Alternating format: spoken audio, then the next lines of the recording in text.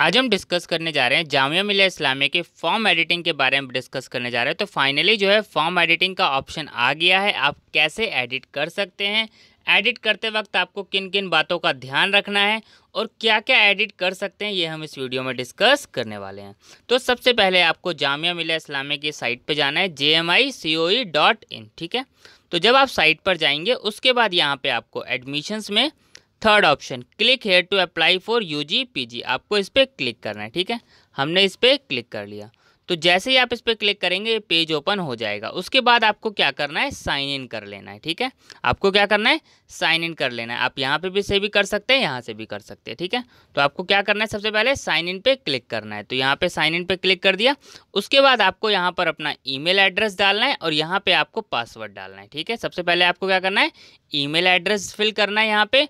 और यहाँ पे पासवर्ड और फिर आपको सबमिट कर देना है। तो हम सबसे पहले ईमेल एड्रेस और पासवर्ड फिल कर लेते हैं। ठीक है तो हमने ये ईमेल एड्रेस और पासवर्ड फिल कर लिया। उसके बाद क्या करना है? सबमिट कर देना है। तो सबमिट पे क्लिक करते हैं उसके बाद। अब देखिए, आप जब सबमिट पे क्लिक कर देंगे तो ऐसा जो है पेज ओपन हो जाएगा। उसके बाद आपको क्या करना है? यहाँ पर माई एप्लीकेशन पे क्लिक करना है। तो देखिए क्लिक करते हैं माई एप्लीकेशन पे, ठीक है? तो जैसे ही आप माई एप्लीकेशन पे क्लिक करेंगे, ये पेज ओपन हो जाएगा और यहाँ पे आप देख पाएँगे एडिट और व्यू तो आपको यहाँ पे क्लिक करना है एडिट पे, ठीक है? तो जैसे ही आप एडिट पे क्लिक करेंगे, ये पेज ओपन हो जाएगा इस टाइप का, ठीक है? उसके बाद आप यहाँ देख पाएँगे कि आप क्या क्या एडिट कर सकते हैं, ठीक है? तो यहाँ पर ये कंप्लीट डिटेल आ गई। उसके बाद आपको क्या करना है? यहाँ पर या जो आपको तीन डॉट्स दिख रहे हैं, ठीक है? आपको इस पर क्लिक करना है, ठीक है? तो इस पर जब आप क्लिक करेंगे, तब आप देख पाएँगे आप क्या क्या चीज़ें एडिट कर सकते हैं। अकेडमिक डिटेल डॉक्यूमेंट डिटेल और preference entry preview and confirm ठीक है? तो आइए हम क्लिक करते हैं अकेडमिक डिटेल पे। तो क्लिक करा अकेडमिक डिटेल पे तो जैसे ही आप अकेडमिक डिटेल पे क्लिक करेंगे तो ये पेज ओपन हो जाएगा, ठीक है? उसके बाद अगर आप यहाँ पे कुछ एडिट करना चाहते हैं, ठीक है? कि अगर मान लीजिए कोई मिस्टेक हो गई थी कि आप स्कूल का नाम गलत फिल हो गया था या ईयर ऑफ़ पास या आपका रिज़ल्ट आया नहीं था, अब रिज़ल्ट आ गया है तो आप वो यहाँ पर फिल कर सकते हैं, ठीक है?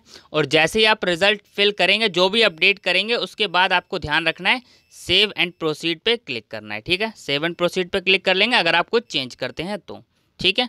फिर आगे आप क्या एडिट कर सकते हैं? डॉक्यूमेंट के बारे में। अगर हम बात करें यहाँ पे नेम ऑफ़ द की आप लोगों को पता है कि अभी क्लास ट्वेल्थ का बोर्ड का रिज़ल्ट आया नहीं है तो इसमें तो आप कुछ नहीं कर सकते। लेकिन जिन बच्चों को आया है और डॉक्यूमेंट अपलोड करना चाहें, अब वो भी आप अपलोड कर पाएँगे, ठीक है?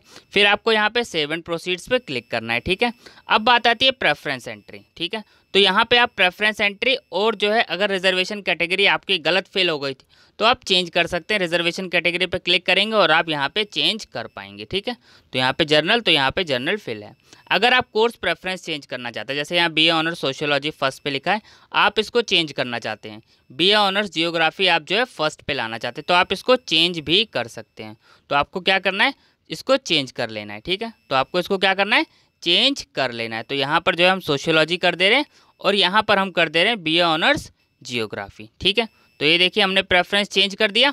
अब क्या प्रेफरेंस है first B A honours geography. उसके बाद आपको यहाँ पे क्या करना है?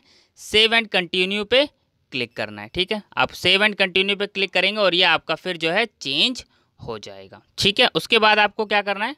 उसके बाद ये आप देख पाएँगे कि ये जो है सेव एंड चेंजेस पूरा का पूरा हो गया होगा। उसके बाद आप इसको प्रिंट निकाल सकते हैं और फिर आप जो है डैशबोर्ड पे आ जाएँगे। आपको जो चेंज करना था जो जो ऑप्शंस थे चेंज करने के, आप चेंज कर सकते हैं, ठीक है? इसके अलावा क्या आप कुछ और चेंज कर सकते हैं? नहीं। अभी चेंज करने की अगर हम बात करें तो चेंज करने का ऑप्शन आपके पास सिर्फ़ जो जो चीज़ें थी, वो आप चेंज कर पाएँगे। बस। तो चेंज क्या क्या कर पाएँगे आप? यहाँ पे आपको जस्ट एडिट एंड व्यू पे क्लिक करना है और एडिट व्यू में आप क्या क्या चेंज कर सकते हैं, यहाँ पर इन्होंने बता दिया है। अकेडमिक डिटेल्स आप चेक कर सकते हैं, उसको आप चेंज कर सकते हैं एडिट कर सकते हैं। डॉक्यूमेंट डिटेल्स उसको भी आप एडिट कर सकते हैं और प्रेफरेंस एंट्री क्या इसके अलावा कुछ और एडिट कर सकते हैं? नहीं तो देख सकते हैं आप, उसके अलावा कोई और ऑप्शन नहीं है। याद रखना, आप जब एडिट कर देंगे तो उसको सेव एंड प्रोसीड आपको क्लिक ज़रूर करना है, तभी सेव होगा। ठीक है? तो ये चीज़ आपको ध्यान रखनी तो आप जैसे अभी मैंने आपको करके दिखाया, जस्ट आपको वैसे ही प्रोसेस फॉलो करना है और आप अपना सेव कर लीजिएगा, सारी चीज़ें करके एक एक स्टेप आपको चेंज चेक करना है। अगर स्कूल में मिस्टेक हुई है तो आप स्कूल का नाम ठीक कीजिए और उसके बाद सेवन प्रोसीड कीजिए। डॉक्यूमेंट अपलोड करना है, आपका रिज़ल्ट आ गया तो आप डॉक्यूमेंट अपलोड कर दीजिए मार्क्स फिल कर दीजिए, फिर सेव एंड प्रोसीड्स पे आप क्लिक कीजिए। रिजर्वेशन कैटेगरी आपने फिल कर दी, फिर आपको उसको फिर क्या करना है सेव एंड प्रोसीड पे क्लिक करना है।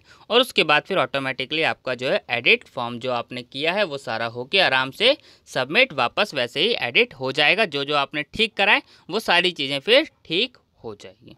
ठीक है, अब इसके अलावा आप लोग कोई और डाउट हो तो आप कमेंट कर सकते हैं तो एडिटिंग आप ऐसे कर पाएँगे। ठीक है थैंक यू